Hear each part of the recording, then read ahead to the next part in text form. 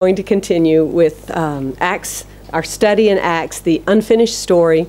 And this morning we're going to be looking at the gospel goes to Europe. Um, now, if you'll remember last time, I, I appreciated your patience, and I took a, I took longer last time, and I and I told you I said I said I'm gonna have to give you I'll give you a short time one time. I don't know if it's going to be this Sunday or not because we're going to cover quite a few verses. Um, this Sunday morning. But uh, Lord helping us, we're gonna we're gonna go pretty quickly through. Um, through this section, and it was interesting to me uh, as Pastor Renee was was advertising um, for Anxious for Nothing this morning, which is based on Philippians chapter four, verses four through four through eight. Almost all of us or many of us have that memorized. It begins with rejoice in the Lord. Again I say rejoice. Let your gentleness be evident to all. The Lord is near. The Lord is near, and then so on. And um, I think the Lord arranged the timing that as we come into this study uh, about Philippians, that uh, of uh, sorry into this study of Philippians, they were also right at the place in our study of Acts where Paul goes to this great city of Philippi, where there are no believers. The gospel has not yet gone to Europe. The, the gospel has not yet gone west. It has been, it has stayed in Palestine. It has stayed in what was called Asia at that time, but what we would call Turkey today. That seems a little bit unusual to us. And Paul, who was a godly man, and was full of the Holy Spirit with other people who were full of the Holy Spirit, kept on trying to, well, I'll go north. And the Holy Spirit said no. He tried to go south, probably towards Ephesus. That's where that, that large city was uh, uh, in the southern part of Turkey. He probably started to go towards Ephesus, and the Spirit of Jesus, the Holy Spirit, again said no and would not let him. And so he just had to wait. Okay, so they got as far as Troas and then waited, and then the Holy Spirit gave supernatural direction. We learned so much from that as we looked a couple of weeks ago that the Holy Spirit leads us and He guides us. He gives us correction. Remember, we talked about that, that example of, of going in a direction and you're going the wrong way.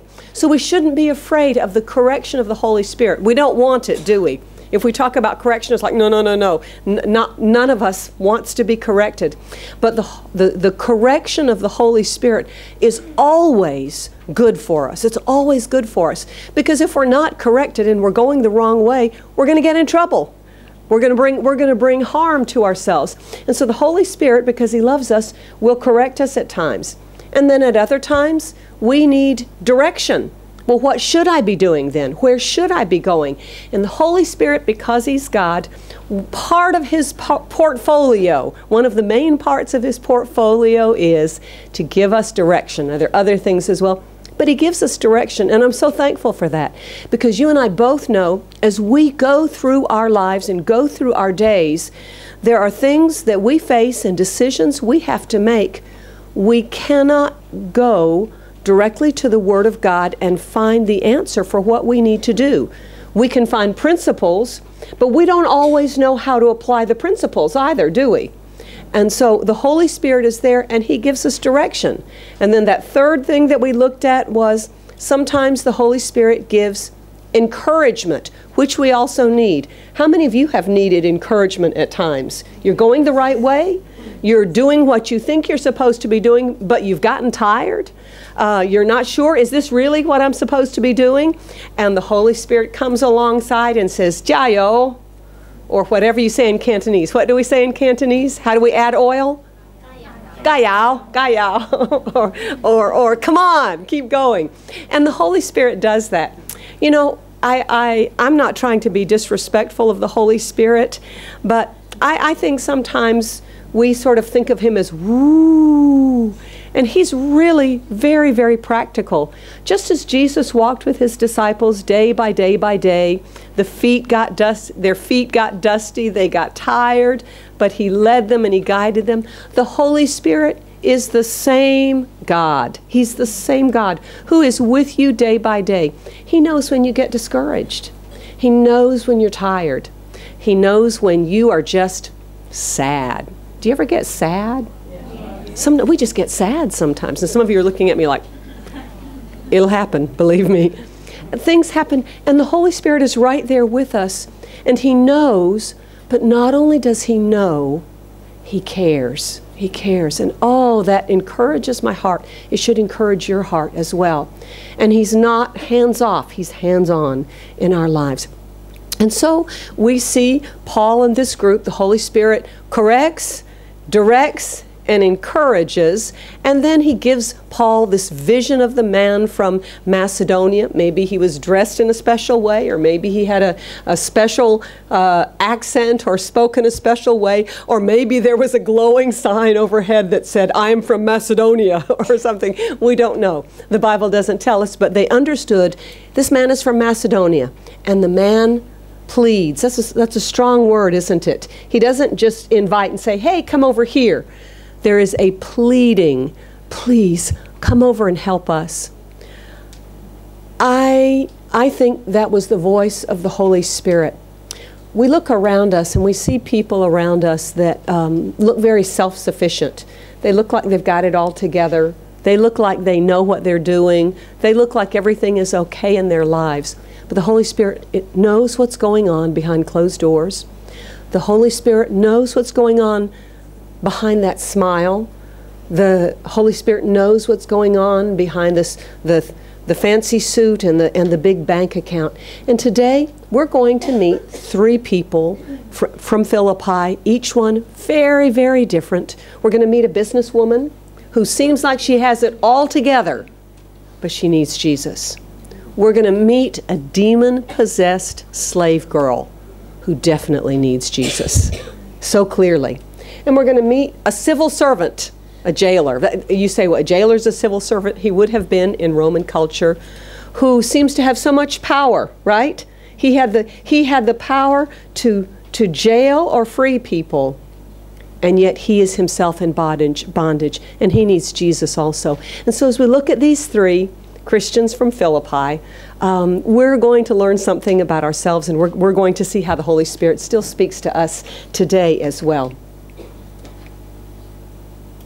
Okay.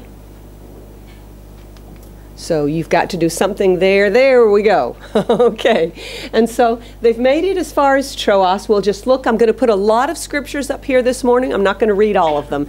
But if you have your handout, uh, you'll see on the front of the handout, I've just given. Um, I've given you basic information, and then if you want to take notes, you can look, turn to the back page and you can take some notes there, and we'll get to there. excuse me. in just a minute. I'm going to put this right over here. And so they make it as far as Troas. That's where Paul has the vision. And then they immediately, I love that. As soon as they know what God's will is, they do it.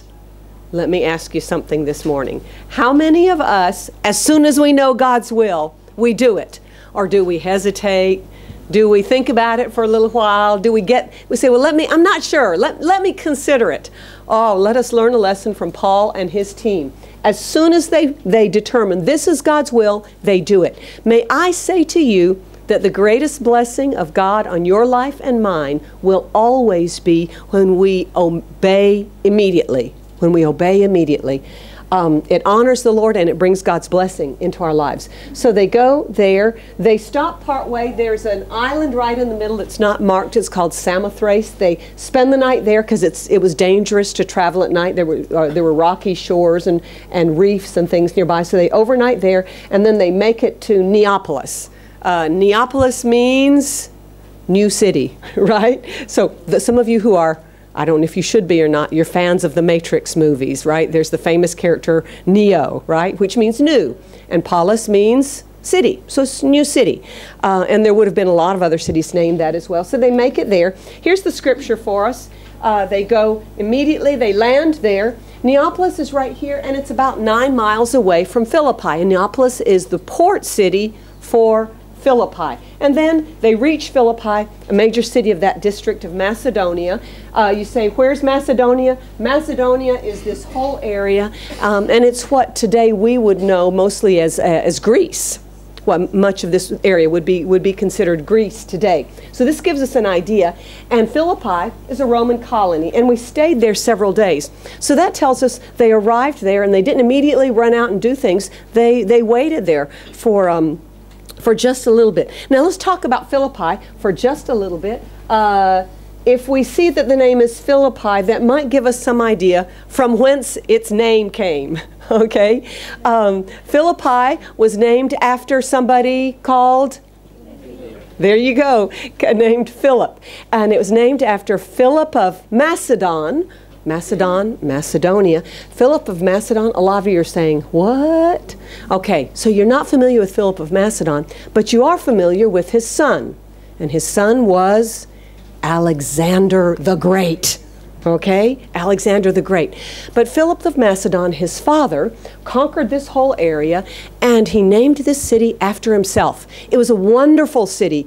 It was very rich. There were mountains nearby, and there were gold mines in the mountains. And Philip uh, had slaves and servants that mined the gold from uh, that out of these mountains, and he used it to build his big army and to build his kingdom. And Alexander the Great profited from that. So there were gold mines there, but not only that, it was on a beautiful plain, and it was very fertile. And so the city was rich, but the citizens of Philippi were most proud not of the fact that there were gold mines, nor that they were named after Philip of Macedon, nor that they were on a fertile plain, but they were most proud of the fact that they were a Roman colony.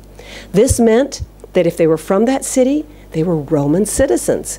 Let me ask you something this morning. Uh, uh most of us in this room, we have different passports. We are citizens of various countries. And if I were to ask you, um, few of us would, would, want to change our nationalities, right? We love the countries that where we were born, right?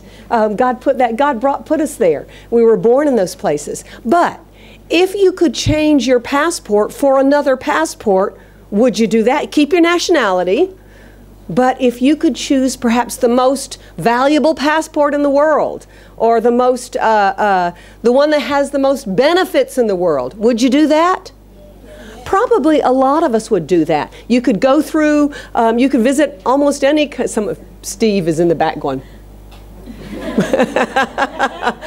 we love the countries we're from, but this gives us an, an idea, and we live in in in most of us come are, are come from countries that are relatively free, uh, good societies.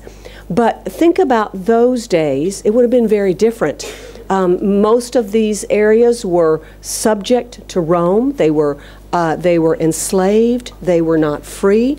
So imagine being a citizen of a colony and you were a citizen because you were a colony of Rome. That meant like that meant you were Rome. You were Roman you were, it was Rome away from Rome, and that meant you had all the rights of Roman citizens. You were free from taxation. How many of you would love not to pay taxes? I get a double whammy as an American uh, uh, from the US. I pay taxes in Hong Kong, and I pay taxes in the US too. It's a bummer. it's a bummer. But it was, they didn't have to pay taxes, they had the right to vote.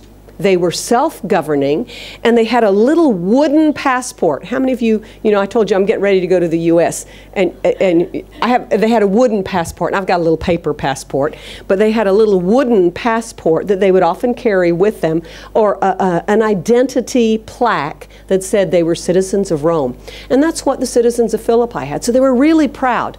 That's why, and they and so um, in this city on the, on the mountain right above the city was a huge Roman fort. That's why when you come to Philippians 4, when Paul writes to these Philippians who are now Christians, when he says, and the peace of God will guard your hearts and minds in Christ Jesus. Remember that part of the verse? All of these Philippian Christians would have gone ding, they would immediately have understood the picture and the imagery because that word guard is the same word as a garrison or a fort. You know, over here, not far from, uh, uh, uh, uh what's that hill over there called where the PLA soldiers are?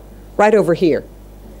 Not Beacon Hill. It's not Beacon Hill. What is this over here? Bar barracks, but Barrack Hill? What is this one right over here? You know, on the corner? We are such bad Hong Kong citizens. What's it called? Just right over here near the church. I know where it is. What is it called? Gun Barracks Hill or something like that. Anyhow, right over here. Um, and if something were to happen, if if somebody were to invade Hong Kong, we would be safe. All of the soldiers would come flooding out of that place and we would be protected. Well, the Philippian the Philippian citizens knew we're safe because there's a great fort there and all of these Roman soldiers are there. And so they understood when Paul wrote the peace of God will guard your heart and your mind in Christ Jesus. Wow, how many of us need that guard over our hearts and minds when the enemy throws air, shoots arrows at you and fear grabs your heart and the peace of God guards your hearts and minds. That's one of the reasons we are pushing and advertising so strongly for this study, Anxious for Nothing. We get anxious about things sometimes that will never happen. But if the enemy has robbed our peace and made us worried and has kept us from sleeping at night, he's already won and we've lost. And God guards us from that. So the Philippians understood that. But as we come to this part of the story, there are no Christians in Philippi. The only Christians are Paul, Silas, Luke, and young Timothy. And so, as they come into this place in Philippi, we're going to be introduced to three Christians, um, and we're going to meet the very first European Christian. Is it a big deal to go from here to here? It's a pretty big deal because this will be the first time the gospel comes to Europe. So, let's look at Acts 6 16, 13 through 15, and we're going to go through the story. I don't want to read it all. You can look at it, and we're familiar with this story anyhow. Uh, they go on the Sabbath day, and they don't go to a synagogue. Why don't they go to a synagogue in the city? That's what Paul always did, right? Why don't they go? There's no synagogue. There's no synagogue. This is a Roman colony. There are there aren't uh, to have a synagogue in those days. Even today, there have to be a minimum of 10 Jewish men. You say, well, that sounds a little sexist. It was. Um, but there had to be 10 Jewish men. There weren't even 10 Jewish men, no synagogue in the city. And so they did, according to custom, they went out by the river and they knew that probably if there were Jews in the city, they would be out by the river meeting for prayer. So they make their way out to the edge of the city, and sure enough, there is a group gathered there and they are worshiping God. You say, oh, they're Christians. No, they were Jewish and they worshiped the God of the Old Testament. They didn't know about Jesus. They kept the Old Testament law. And the first, first person we meet, we sat down to speak with some women who had gathered there. So, what does that tell us? Does that tell us that Paul is doing like I'm doing this morning? Here, he's got all his notes and he's dressed up nicely and he's preaching? No, this means that he just had a conversation with them, and that was a common to do. So Paul sits down and he begins to talk with them, and the first person we meet is Lydia from Thyatira, a merchant of expensive purple cloth who worshiped God. You say, Are you sure she's not a Christian? She worshiped God. That's the Old Testament, that's the uh, uh, for, from Judaism, so not born again. She doesn't yet know the freedom that comes from Jesus Christ. And so here's this Lydia.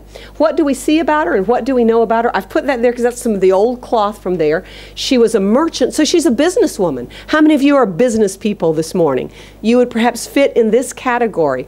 And she was a dealer in purple cloth, so that tells us something else. She was wealthy. So are you sure? Pretty sure. Um, the purple dye that they used for to make the purple cloth to make one gram okay sorry you know i'm north american so the grams and the things i'm not so good at but a gram is not a lot right? One gram of dye took 10,000 shellfish that had been ground up and had a purple color in them. 10,000 10, shellfish. And then they would grind it up and they'd put salt water in it it must have been a terrible smell. And then they would let it ferment for about 10 days, and then they would extract the dye. One pound of wool that had been dyed was worth the same as one pound of gold. Okay, so that's a pound of wool that was dyed, worth a pound of gold. And this purple dye was worth more, just the dye itself was worth more than its weight in gold. And so she was a dealer in purple. And because it was so expensive, it was used first just by the emperors and then by the nobility. And then, as Philippi was a fairly wealthy city, then the very wealthiest would begin to use this dye. And it was, it was, it would range from purple to a dark red, and it was especially loved because it didn't fade. They've even found some tombs. When you look at this, this, this seems like, oh, well, it's quite bright when you look at these colors, but this piece of cloth is over a thousand years old almost 2,000 years old. So when you see this, that tells you something about the quality of the dye. And so this Lydia um, is out by the river with other Jews. She's not Jewish. She is Greco Roman uh, because she's from Thyatira, but she has rejected the idolatry and the immorality of the pagan religions, and she's searching for truth.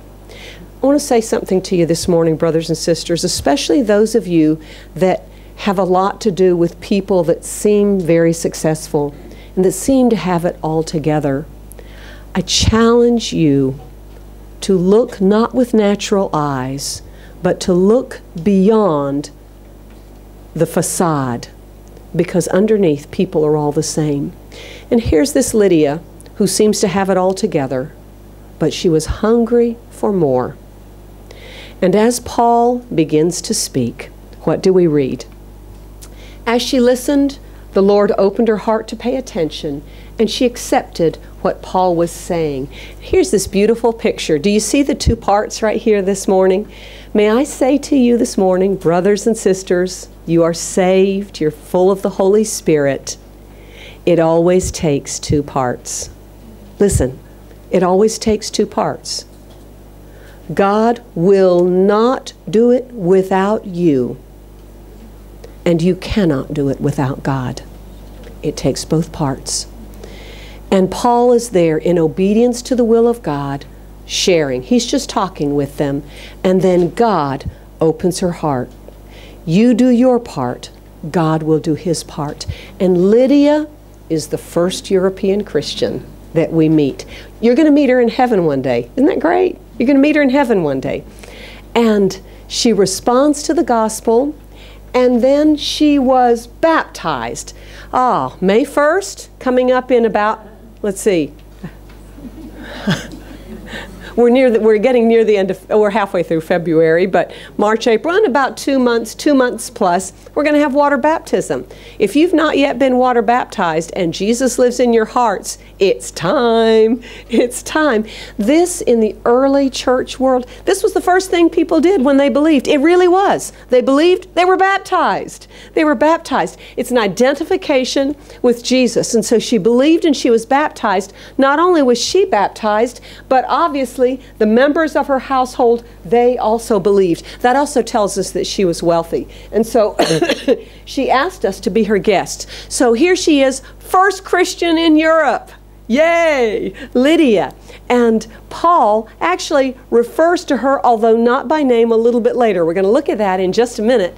Um, but I want to lift her up as an example for us this morning. And some of us may say, well, how is she, uh, how is she an example to me? I want you to look at verse 15 right here at the example that she is. She's baptized. That's the first thing that happens. And then I want you to see what comes out of her life immediately what comes out of her life? What is the expression of Christian life that we see immediately? Immediately. There's a word for it. It's one of the gifts, but it's more than one of the gifts, it's one of the commands as well. Hospitality. Very, very simply, hospitality. And she says to them, if you really believe I'm a Christian, if you really believe that I'm, I'm a true believer in the Lord, oh, how are you going to fight against that one, right? Um, it's a strong, compelling uh, argument, isn't it? Uh, uh, or invitation. She said, please come stay with me. Now, this was welcome indeed because in those days, inns were really brothels. I mean, they weren't much more than that. They were terrible places. So you can imagine for these four Christian men to be able to stay in a Christian home and to be provided for and cared for was a wonderful thing. But notice also that Paul and his gang don't immediately take advantage because sometimes people take advantage of well meaning and wealthy believers, right? To get what they can. We've all seen it. We've all seen it. But they don't do that. She has to urge them to come, and then they come to the house. Uh, they come to stay with her. When you read this a little bit later, do you know what else you will find? You will find that later on, Lydia's home becomes the new church. How great is that? It begins with hospitality, it continues with a home for the first church of Europe. A home for a church that, if you read the New Testament, do you know what you will find? It seemed that Paul had some favorites. We're not supposed to have favorites, are we? I think Paul had favorites. Do you know who his favorites were? The Philippians. If you look at your notes, we're going to look at some things. A little bit later, when Paul writes to the Philippians, do you know what he calls them? He calls them my joy and my crown. Wow, wouldn't that warm your heart? If the person who had led you to the Lord wrote back to you and said, You're my joy and my crown. You bring joy to my heart, you bring honor to my life. That's what that means. And we see in Lydia this immediate and natural overflow and response of hospitality. And you may be wondering, well, Pastor Jennifer, why are you talking about this? We could be talking about other things. I want to talk about this for just a little bit because I think it's really important. And I think we as modern Christians don't give enough importance to hospitality. I don't want to spank us, but I'm going to spank us just a little bit this morning. I think most of us these days, we live busy lives. We come to church on Sundays or in the rest of the week as well, and when I'm at church on Sundays, what do we want? I don't want to host anybody. I don't want to invite anybody. I just want to be with my friends at lunchtime, the people I'm comfortable with. We're going to go eat here or whatever. I don't know them very well. It won't be so comfortable if they go with us to lunch. I, it's going to cost extra. Now, brothers and sisters, I know I'm stepping on some toes this morning, but you know that's true. You know that's true. what I want to say to you is this we take it lightly, but I don't think God does. Because when you look at the New Testament, do you know what? For a widow to be supported by the church, she had to practice hospitality. For a man or woman to be chosen as an elder, an overseer of the church, what Pastor Renee and I do, do you know what one of the requirements was? And it's mentioned several times. One of the requirements was they have to be hospitable. What? A pastor, a preacher, an elder has to be hospitable? That's what the Bible says. Now, before we say, yeah, but I'm just a I'm an average Christian. I'm not a pastor, I'm not a whatever, and I'm not a widow looking for support from the church. Let me give you some other verses, okay? Ready? If you want to argue, you go talk to God about it. This is in the Bible. Okay? Let's look at these, and it's on your notes as well. Romans 12 13, when God's people are in need, be ready to help them. Always be eager to practice hospitality. Ouch, right? Because we're, we're often not eager, right? You know, I, I hate it. You know, sometimes when there are visitors at Lighthouse, some of you know I have come around to you and I've said, Have you gone over to talk to them? Yeah. And the, and the visitor will be kind of standing there and it grieves my heart. It really does. It really does. Or like, hello, yes, I've already talked with them, and then we go on. What I want to say to you is that God sees hospitality as a basic Christian grace. It, re- it really is. It really is. Let's look at another verse. 1 Peter 4 9. Um, Peter, Peter says, Be hospitable to one another without complaining.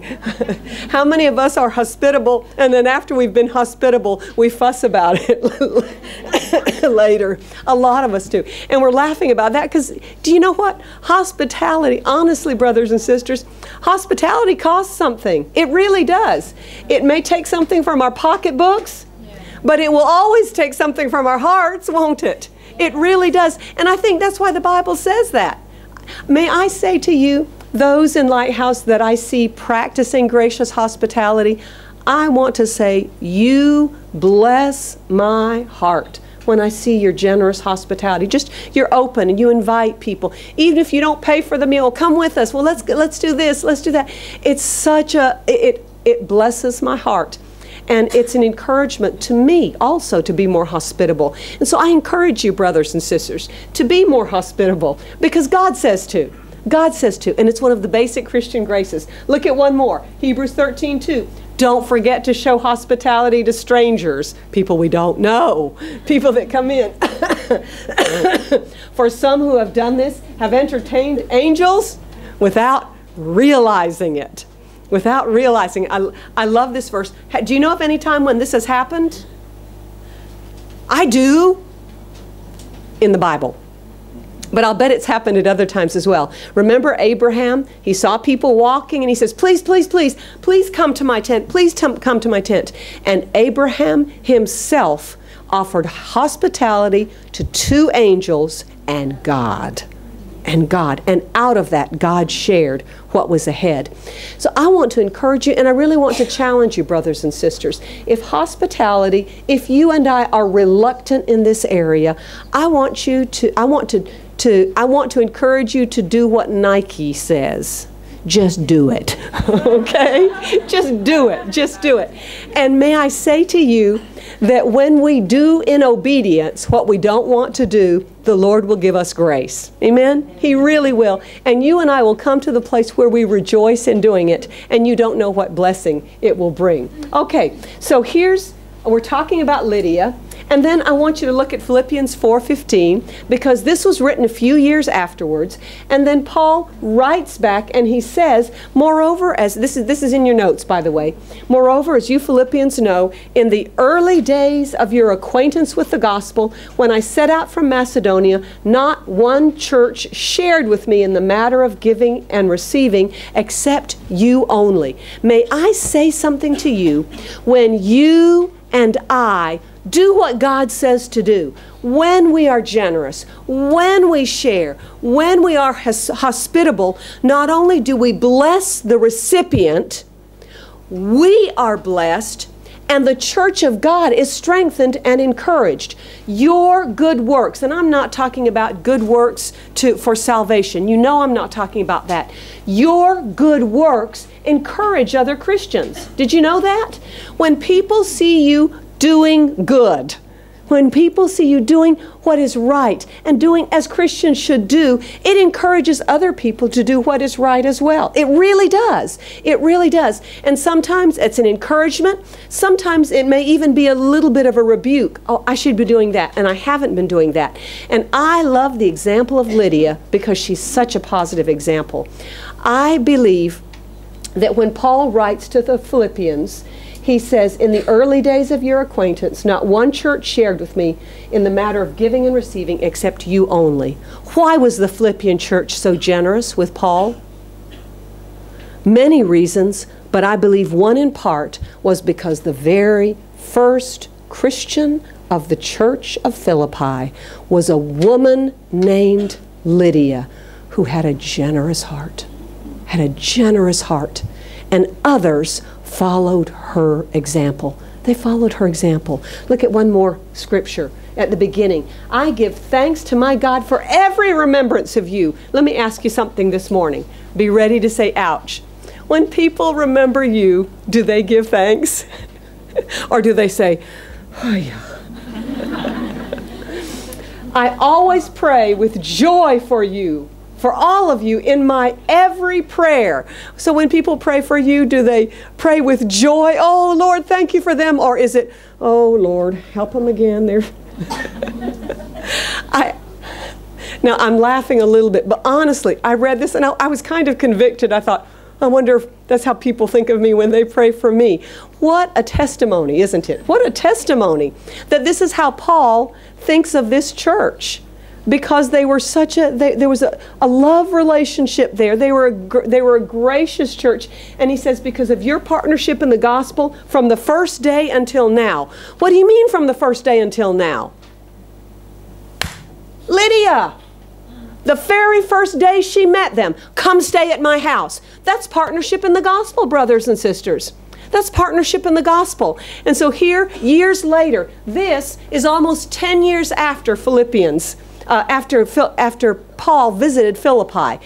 And he mentions, not by name, but I believe Lydia is pictured right here. From the very first day, you partnered with me. And you and I can have partnership in this. And these are, I love these scriptures. You may not have thought about it um, before, but I want to encourage you because I think we take the directive for generosity and for hospitality, I think we take it too lightly. Don't you think so? Most of us should just nod our head and say, yep, we take it too lightly. I believe we should take it more to heart than we have. And so we meet Lydia and she partners with them in the gospel, and Paul remembers her and the Philippian church with great joy. And then they're staying at Lydia's house, and as they're going back and forth from her house to the place of prayer, still no synagogue, they meet somebody else, very different from Lydia, but another female. And who's the next person they meet? Once, when we were going to the place of prayer, we were met by a demon possessed slave girl who had a spirit by, what she, by which she predicted the future. Y'all, you can't get further from east to west, from north to south, from dark to light, than from Lydia to a demon possessed slave girl, can you? Diametrically opposed, diametrically opposite. You here you have Lydia. She has it all together. She's wealthy. She is her own. Uh, she is her own boss. She has her own home. Everything is going well. She has servants. She probably has slaves herself in the household. That would be that would be most likely. And then here we meet some days later this slave girl. We don't read Greek, but if we could read Greek, Greek we would we would understand from the Greek that this girl was really young. You know, some of those young girls that were seated right over here that Chaco and Cherry bring to church. How old are those girls? 11, 10, 9, 10, 11, around there. This slave girl was very possibly 9, 10, or 11. We sometimes think of a, a, woman, but the original language implies she was very young. Think with me of, uh, of the difference between these two. Whenever God begins to work, the enemy also begins to work. Have you ever made a stand for God? Have you ever made a decision, God, I'm going to whatever? And it's not very long before the enemy comes in to oppose you, right? It's not very long before the enemy begins to fight you. That's what the enemy always does. So I just want to, you know, just take a note. When you stand for God, God the enemy will oppose you, but God will be with you, as we're going to see here. So the gospel's taking root, and so the enemy comes in. Now, in other places, the enemy has attacked directly, head on, boom, and sometimes that's how the enemy fights, right? He comes at you like a raging bull or a roaring lion. But he doesn't always come that way. Sometimes he comes in by association and compromise. And that's what happens here. So they meet this demon possessed slave girl who had a spirit by which she predicted the future. Without discernment, the work of God will be diluted, distracted, and destroyed in Philippi. God does not need advertisement from the world to verify that He is the one true God. He has you and He has me. And this slave girl follows along behind Paul and Silas and Luke and Timothy for days, shouting out loud a great advertisement. These men are servants of the Most High God, who's showing you the way of salvation. Now, if we didn't know any better, we'd think, Praise the Lord, I've got some free advertisement here, right? But Paul is full of the Holy Spirit and he knows this is not from God and I don't want it. And it can't be mixed with God's work because anytime it's the devil's work that's mixed with God's work, destruction will happen. It, it will always happen. And so you can't mix it. You can't mix it. But I want you to think about this, this poor girl. So she's very young. She's 9, 10, or 11. Where are her? Let me ask you do you remember when you were 9, 10, or 11? What if you, at age 9, 10, or 11, had no family around you, no mother to care for you, no father to provide for you, no brothers and sisters. And not only would you be separated from your family, but you would be in the wretched condition of being a slave of somebody else, and not just one person, because later it says when the owners, it's almost like each one of these owners had a stake in her because she was valuable, right? It's almost like a valuable, like they have an investment in her because there's more than one owner of this slave girl. She was really valuable to them. Imagine that. Imagine that. That that she's a slave, so she's used by them. Take it one step further, and she's demon possessed. So she's in torment. What a wretched, pitiful state of bondage this girl is in. How awful. We, we read the Bible and we read it too quickly and we forget that these are flesh and blood people and they're real people. We're going to meet this slave girl in heaven one day no longer a slave.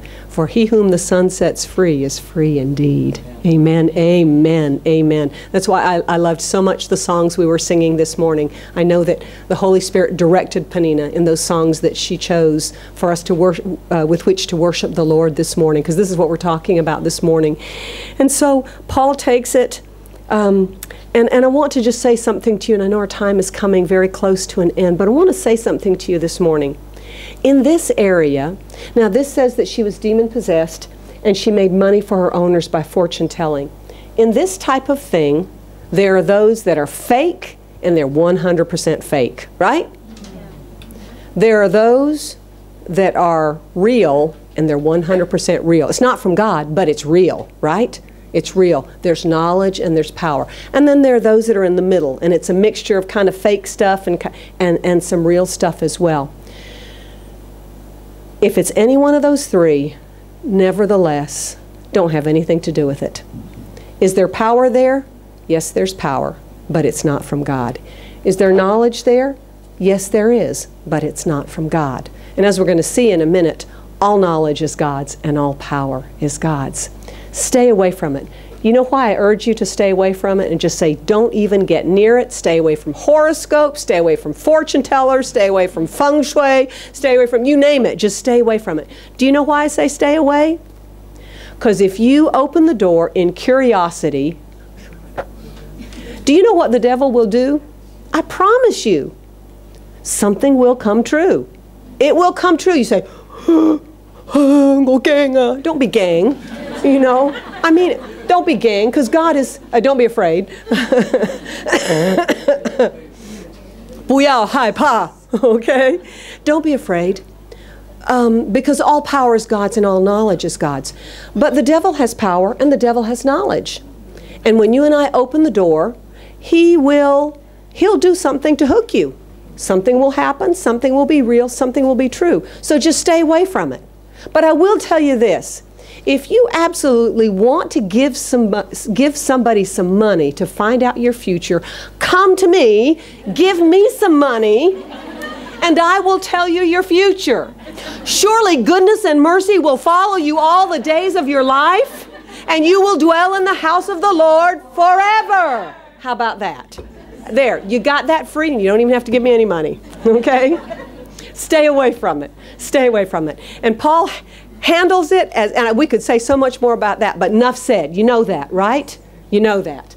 And then she finally, Paul, he can't take it anymore, and he turns around and he says, In the name of Jesus Christ, I command you to come out of her. Notice something here. He doesn't tell this girl, Girl, shut up. Little girl, go home. He doesn't say, Little girl, please go away. He doesn't do that. Why? Because we wrestle not against flesh and blood, but against principalities and against powers. By the way, that verse is in your note as well. That, those, those words are, uh, th- those verses are in your note as well. And he deals with the problem. The problem's not the person. The problem's not that little slave girl. She has a problem too. She's demon possessed and she's a slave and she's being used by ruthless owners. She needs freedom. And so Paul deals with the problem. Listen, brothers and sisters, don't get hung up on people that are cause, that you think are causing you problems. It's usually the enemy. Talk to God, let God deal with that let God deal with the enemy and he'll take care of it. And so he turns around and I love this. At that moment, the spirit left her. Don't be afraid. Don't be, oh, don't whatever. Don't get into superstitious stuff. Trust in God. He has all power, He has all knowledge. And immediately the Spirit comes out, and I want to give you, so remember this. Here's the whole passage, but um, I've just, I, I, love this. I think this is Holman, uh, Christian Standard, maybe ESV. Be strengthened by the Lord and by His vast strength whenever you feel weak. His strength is vast but especially verse 12 our fight is not against people on earth, but against the rulers and authorities and powers of this world's darkness. This is why you must put on Christ's full armor. So we see that. And that's what Paul does. And that's what Paul has. And then look at Luke 4 18 and 19. You know why I love this passage with this passage? Who wrote the Gospel of Luke? The earthly author of the Gospel of Luke? Who was it? The same one that wrote Acts. The same one that wrote Acts.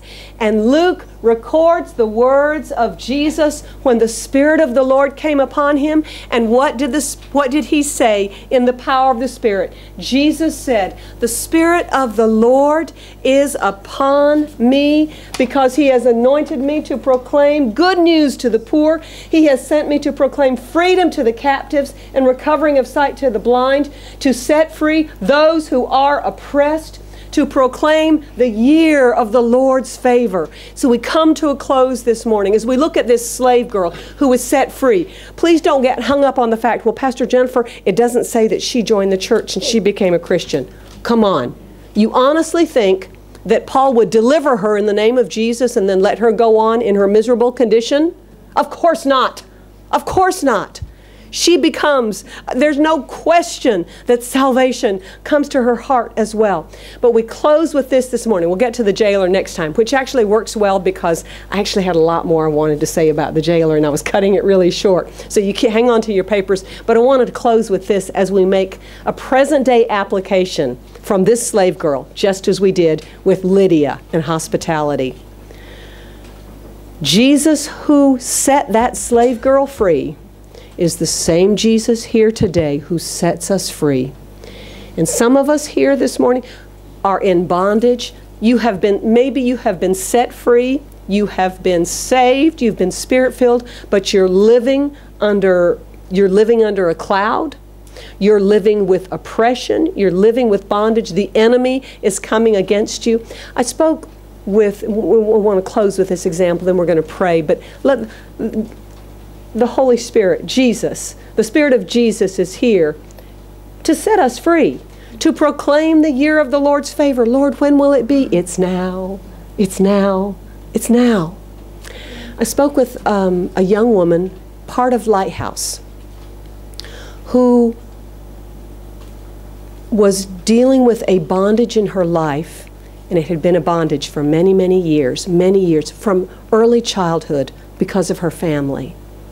God set her free, and she took a very brave step.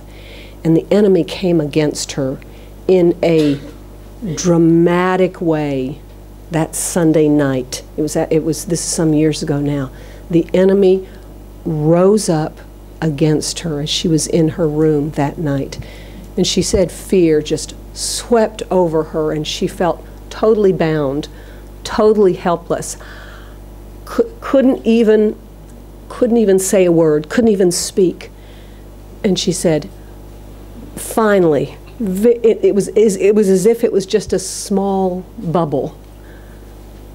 Jesus, Jesus, I praise you. Jesus. You and I don't have to scream and shout. Jesus hears our weakest whisper some of you this morning, you feel like, I can't, I'm so, I can't even lift my hands up to praise the Lord. That's what that young lady said as well. But Jesus rose up in her and defeated the roaring enemy in her face, as he will do for you. If you are in bondage this morning, call out to Jesus. If you are oppressed this morning, And just, I encourage you just to, to close your eyes. Stephen, could you just play play the guitar, please, or just just play quietly? We're going to close with prayer. This morning, you may.